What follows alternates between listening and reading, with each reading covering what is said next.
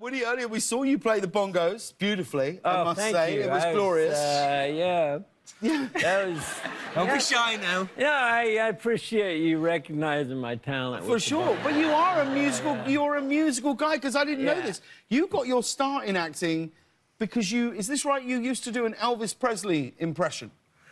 Well, uh, yeah, dude. Uh, no, I. You know what Come happened? I was. that. Give us I was in high school. Come on, just Well. I was in high school and uh, I was in the library and and. Um, the guys that I know on the football team are trying to get me to do the do. They say do your Elvis, and I kept. I was reluctant. There was a lot of people. Yeah. And finally, I started. You know, this was actually the greatest thing I ever did because it changed the course of my life. I started. Uh, Oh, well, who bless my soul? What's wrong with me? You get some. yeah, thank- Come on, come on.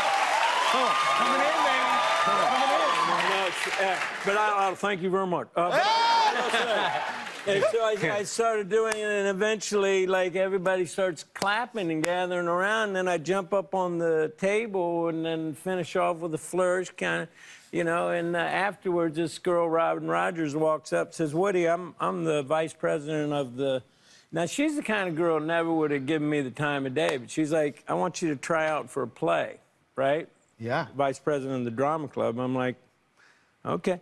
So that really is the reason I became an actor, thanks to her. I Thanks to you and Elvis Presley. That's so cool, man. and Elvis. Yeah. That's really sweet. He was lucky. And Quite how lucky. long after that would it have been that you were in Cheers? How many years are we talking after that wonderful day? Well, that was uh, high school, so you know, you this was a few years, so probably about uh, seven years later. Seven years later, the biggest sitcom in the world. What were you doing between? Were you doing lots of theatre or Well, I went to college. Yeah. I did a lot of. It's an amazing reaction to someone going to college. I went to college, you went, "Ugh." Oh, you don't believe in formal I don't, education? I don't get it. yeah. Third level education. It's like getting a bronze. Yeah. Just finish your first level, you get gold all your life.